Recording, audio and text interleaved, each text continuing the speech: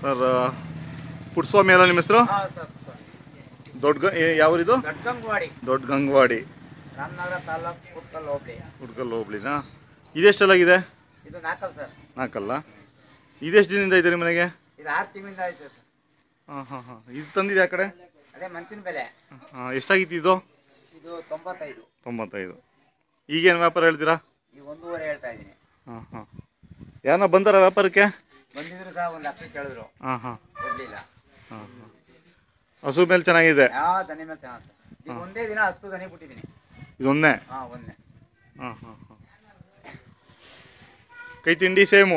ಹಾಂ ಏನು ಉಳ್ಳಿ ಒಂದು ಅರ್ಧ ಅರ್ಧ ಕೆಜಿ ಇಡ್ತೀರ ಒಂದು ಟೈಮ್ಗೆ? ಒಟ್ಟಿನಲ್ಲಿ ಉಳ್ಳಿ ಕ್ಯಾಸೆ ತಗೊಡು ಅಕ್ಕಿ ಇದರಿಂದ ಮೂರು ಕೆಜಿ ಇಡ್ತೀನಿ ಸರ್. ಹಾಂ ಹಾಂ ಹಾಂ. ಇದು ಒಳ್ಳೆ ಜಾತಿ ಕುಲದಲ್ಲಿದೆ ಆ ಜಾತಿ ಕುಲದಲ್ಲಿ ಇದು ಒಳ್ಳೆ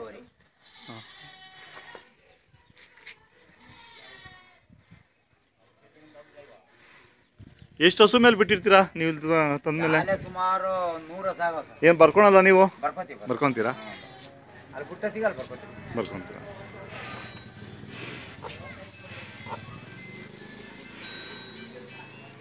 ಕೆಲವರು ಹಸು ಮೇಲೂ ಬಿಡ್ತಾರೆ ಕೆಲಸನೂ ಮಾಡ್ತಾರೆ. ನಾವು ಇಲ್ಲ ಸರ್. ಈ- ಈ ಕಡೆ ಹಾಕೊಂಡು ಬಿಡೋ ಮಾಗಡಿ ಕಡೆ ಯಾರು ಕೆಲಸ ಮಾಡಲ್ವಲ್ಲ? ನಾವು ಕೆಲಸ ಓರಿಲ್ ಮಾಡಲ್ಲ. ಯಾವತ್ತೂ ಮಾಡಲ್ಲ. ಮಾಡಲ್ಲ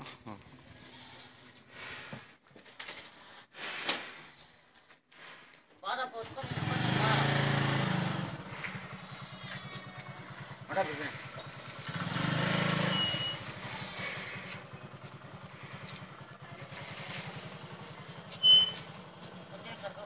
ಇವು ಎರಡೂವರೆಗಳು ವ್ಯಾಪಾರ ಬಂದ್ರೆ ಕೊಟ್ಬಿಡ್ತೀರಾ?